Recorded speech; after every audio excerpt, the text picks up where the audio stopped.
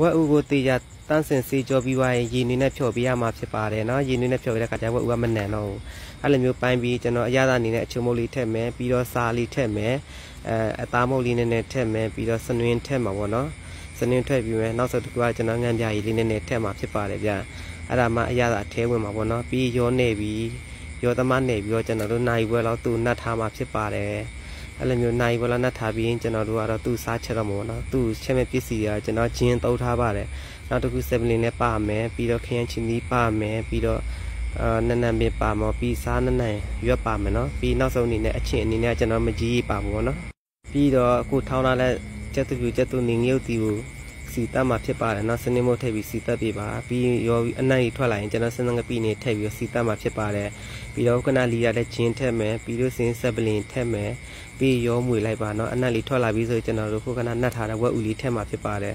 အာငေးဥတီယူတော့အနံ့မွေသွားတဲ့အထိမွေပေးရမှာဖြစ်ပါတယ်နောက်မဝက်ဥကနှံစားမကောက်ဘူးနော်အာတေချာစီတွေအနံ့မွေတော့အနံ့မွေးတော့ကျွန်တော်တို့စီတမ်းမှာဖြစ်ပါတယ်ပြီးတဲ့ခါကျရင်ကျွန်တော်တို့ရည်လေးနည်းနည်းထည့်ပြီးအဖုံဖုံထားလိုက်ပါ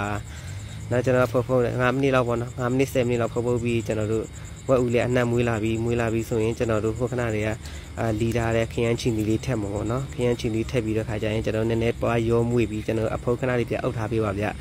အဖေအုပ်ပြီးသွားပြီးလို့စင်ရေလေးနည်းနည်းခန်းသွားတဲ့ခါကျတော့ကျွန်တော်တို့ဟိုခဏတွေကဖြော်ထားတဲ့မကြီးလေးထက်မှဖြစ်ပါတယ်မကြီးထက်ပြီးသွားပြီးလို့စင်ကျွန်တော်တို့ကအဖေခဏလေးပြန်အုပ်ထားပေးပါဗျနော်ဖုတ်ပုတ်သွားပြီးအခုတော့ စီလဲခန်းပြီးရေလဲခန်းပြီးဆိုတော့ကျွန်တော်တို့အမွေးအနေနဲ့ကျွန်တော်တို့အမွေးနာအနေနဲ့ပေါ့နော်နက်နက်မီလေးထက်မယ်နောက်ပြီးတော့ကျွန်တော်တို့စားနက်နက်ရွက်လေးထက်မယ်ပေါ့နော်အဲ့ဒါပြီးသွားတဲ့ခါကျရင်ကျွန်တော်နောက်ပိတ်ဆုံးအနေနဲ့ပေါ့ကျွန်တော်မဆလာလေးပေါ့နော်အဲ့ဒါထည့်ပြီးတော့နည်းနည်းပါရောမွေလိုက်ပေါ့နော်ရောမွေပြီးလို့စင်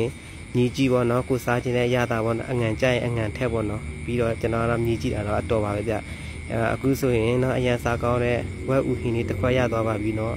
လှုပ်စားကြည့်ပါဗျလှုပ်စားကြည့်နော်အရန်စားလို့ကောင်းမှာဖြစ်ပါတယ်အားလုံးပဲမင်္ဂလာပါဘိုင်ဘိုင်ပါဗျ